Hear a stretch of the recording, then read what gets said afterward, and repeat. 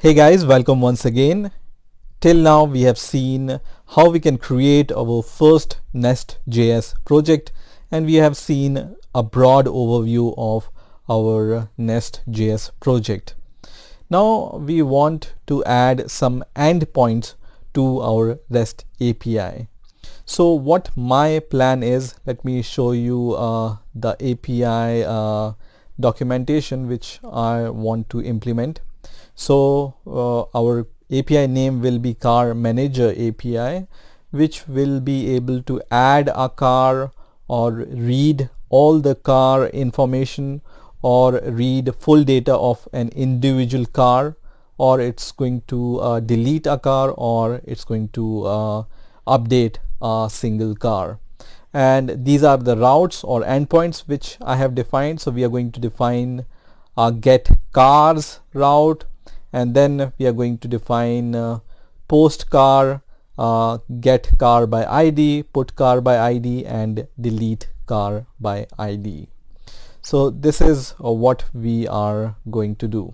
And by the way you can also create this kind of uh, swagger documentation using your nest.js uh, framework. But this is not the part of uh, this demonstration. I just created this swagger documentation separately for uh, this demonstration but uh, I'm not going to show you how you can create this using nest.js so let's get started. So because we have already downloaded the nest.js CLI we are going to use the nest.js CLI to create our module service and controller. So uh, the good thing about nest CLI is we can create our module or service or controller or it can do many other things automatically. So you don't need to uh, write your uh, modules or classes or uh, uh TypeScript files uh, from the scratch right?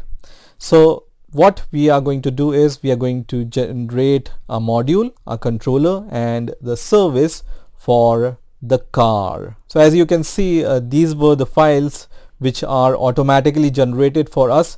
We are going to remove all these files once we have generated our car uh, module controller and service and we are going to use that because we don't want to uh, just send hello world for example. And this uh, route is not even uh, required in our API right? So process of creating the module controller and service is really uh, simple using nest CLI you just need to write uh, nest and then you just need to give this flag G or you can uh, just write uh, generate here. In the short form you can just write uh, G and then you write what you want to create right? So for example first of all we are going to create a module. So I'm going to just write module here and then give the name of your module. So we are going to create a car module. So I'm going to just write car here okay? So nest generate and uh, the name uh, of uh, the component you want to generate and then the actual component name which you want to generate. Just press enter which is going to create a new module for you. So when nest.js create a module or controller or a service is going to create a folder with the same name which you have given here. So we have created the car module and inside this uh, we have this car.module.ts file right? Now as I already mentioned uh, this uh, at the rate module is the decorator. If you want to create this car module from the scratch you can uh, simply create this without using uh, this uh, CLI also you just need to add this module decorator on top of your module class name. And this module is present in the nest.js common package right? So just write nest g controller and the name of your controller and then press enter and it's going to create a new controller for you. So here you can see this controller is created for us and you can see for the controller you need to add this decorator controller and then you need uh, to add the route which you want to add to your uh, controller. So we want this sub route which is car. As you can see all our, our route have car, car, car, car. We are going to create the get car route also. We are not going to create extra cars module or controller. Uh, I decided that uh, we are going to just create uh, car uh, route here not cars right so keep this in mind uh, and now we are going to create a new service for our car so here you just need to write service so nest g service car and it's going to create a new uh, car service for you okay. So we have generated the module controller and the service uh, uh, ts files. Also two extra files are created for the unit test car.service.spec.ts which is the unit test file for the service uh, uh, .ts file. And you also have this car.controller.spec.ts this is the unit test file for your car.controller.ts file right? So now you will also observe that in your main module so when you go to uh, the main module you will see here that under the imports element there is a new mapping which is added uh, here which is cars module. And this code is also auto generated right? So if you are creating your controller or module or uh, your service manually without this command line. You just need to add your module which you have created uh, and you just need to import it under your main app.module.ts file right? And now uh, what I'm going to do is I'm going to remove the controller and provider which is the main app controller and main app service provider because we don't want uh, this. We just want the car module car controller and uh, uh, car service right? So I can just remove uh, this controller from here and this uh, provider from here and remove these imports. Now let's go to the car.module.ts so i'm going to go to the car.module.ts uh, uh, here. And you will see that inside this module we have imported the car service and the car controller. Okay?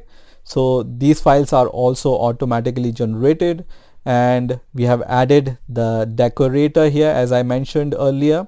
And then under controller we are going to add all the controllers. In our case we only have one controller which is car controller. And under provider we are going to add all the uh, services right? So we only have car service right now and we are going to just export this uh, module. And this is the same module which we are importing in the app.module.ts file which is this one right? Also we don't need this main app.service.ts file because we have removed uh, this dependency. So I can just right click and delete this uh, service file also we can delete this uh, controller also right? So I'm going to right click and delete the controller for the main app and then app.controller.spec ts file also I'm going to remove right?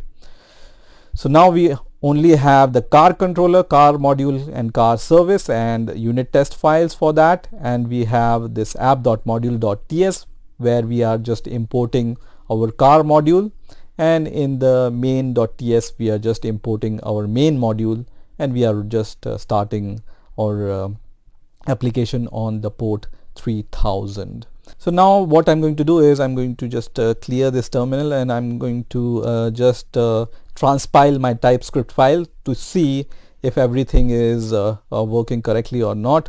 So I'm going to just write npm run build here and once uh, all the files are built successfully and if I don't see any error we can move forward. So as you can see there is no error in transpilation so we can move forward. So what we are going to do is we are going to start from the controller here. So let's create uh, some of the endpoints uh, in this controller. So the first thing which we uh, need to add to the controller is the service. So we are going to inject the service which is the car service into our car controller. So I'm going to just uh, create a constructor here. And inside this constructor we are going to just uh, inject our service uh, which is the car service.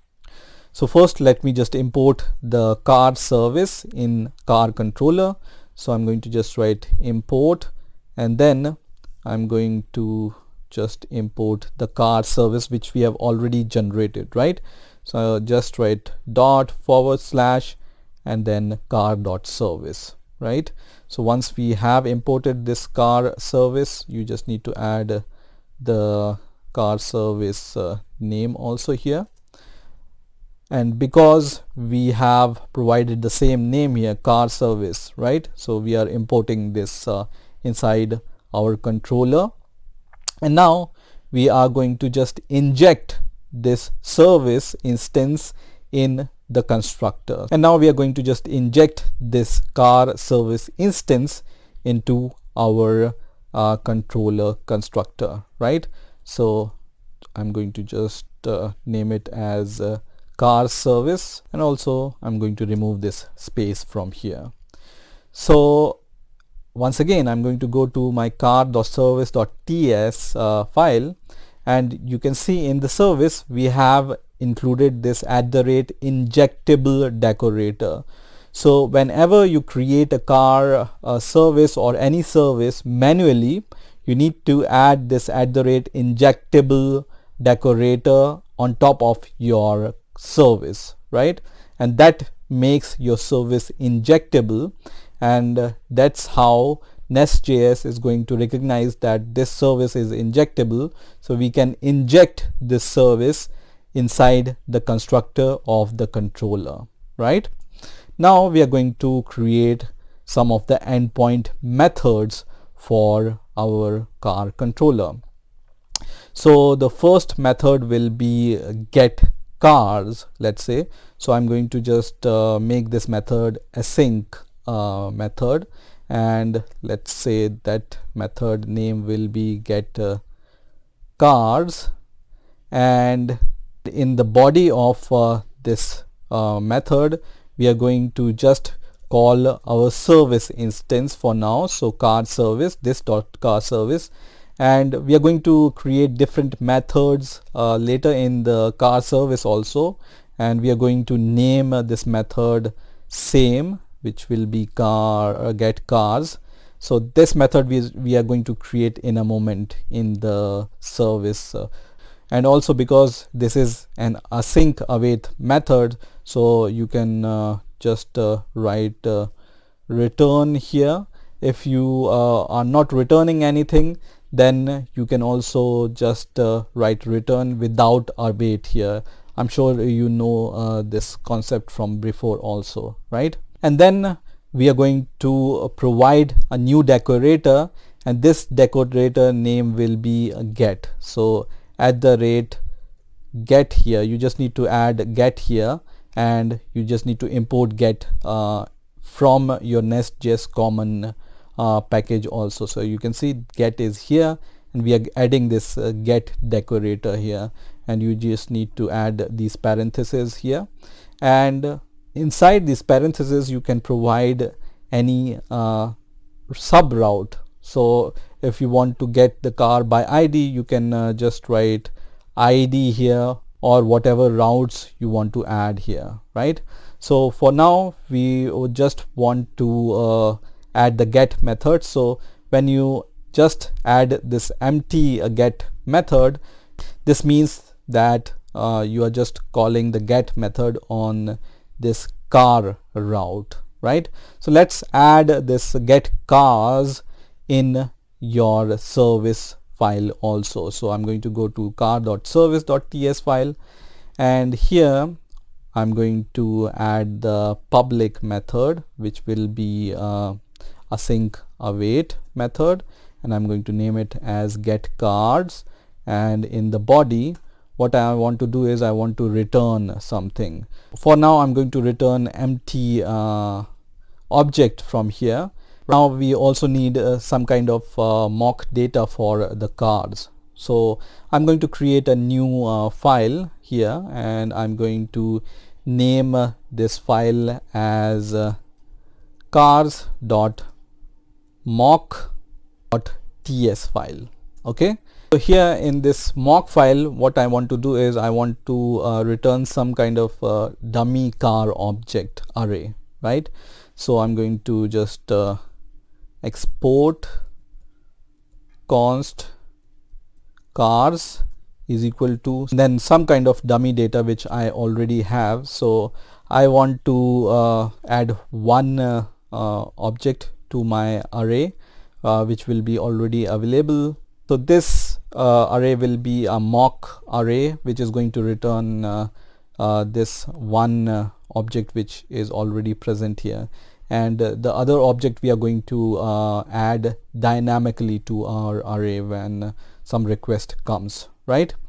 So what we have done till now we have added this get cars into our service and into our controller right and we are just calling or returning the get cars uh, method from the car service inside your uh, controller also inside this get cars method.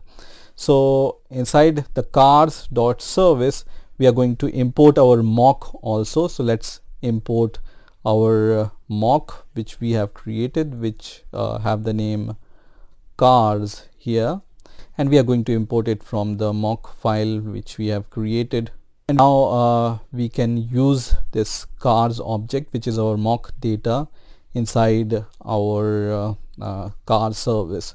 So I'm going to just uh, write private and then cars here which will be equal to this cars which and then we can return uh, this uh, dot cars uh, from the get cars method right? So now we have uh, just uh, finished first uh, endpoint and we can test our endpoint by just running npm start command. And once your application is running I'm going to just open my postman and then I will just uh, write http colon forward slash localhost 1000 which is the port on which our application is running and then I'm going to just uh, give this uh, endpoint which is car here. So essentially we are just sending get car uh, request to our application. Okay? let's uh, send this data. And you can see it sends us uh, this kind of data which is sent using this get cars method which is uh, there inside your service.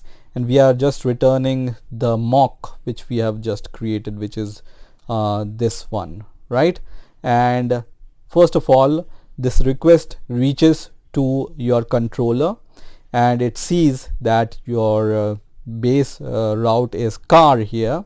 And here we haven't added any sub route so that means we are just uh, responding to the car uh, get car request using this get cars method. I think that's it for this video. In the next video we are going to add uh, all the other uh, routes or endpoints to our nest.js uh, restful api i. Hope you enjoyed this video and i will see you in the next video